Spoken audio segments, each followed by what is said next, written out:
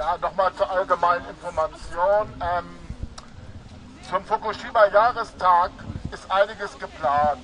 Die, die Atombewegung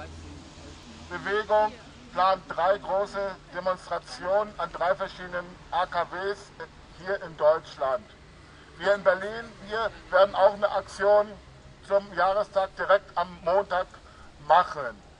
Weiteres lest bitte bei uns auf der Seite nach und ja, uns halt auch an und unterstützt uns weiter, so nett wie heute. Danke.